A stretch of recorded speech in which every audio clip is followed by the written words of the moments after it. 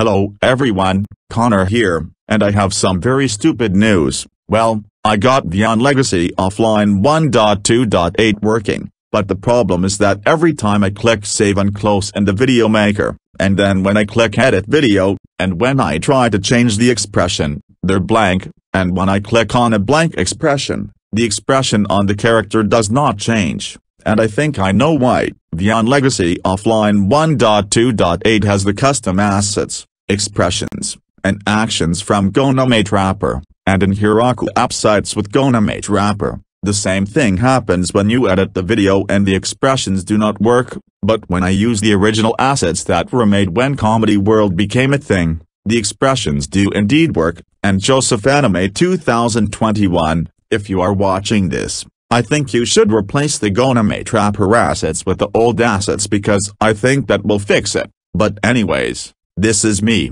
signing off.